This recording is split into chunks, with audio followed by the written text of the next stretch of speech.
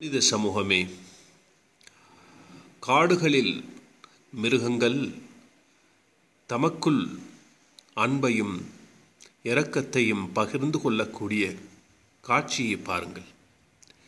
சக்தியுள்ளவர்கள் பலகீனர்கள் மீது அன்பு காட்டுவதற்கு இந்த யானை இந்த வரி குதிரைகளுக்கு தண்ணீரை அள்ளி சொரிவது அருளை காட்டவில்லையா? எனவே நீங்கள் இவற்றிலிருந்து படிப்பினை பெறுவீர்களாக.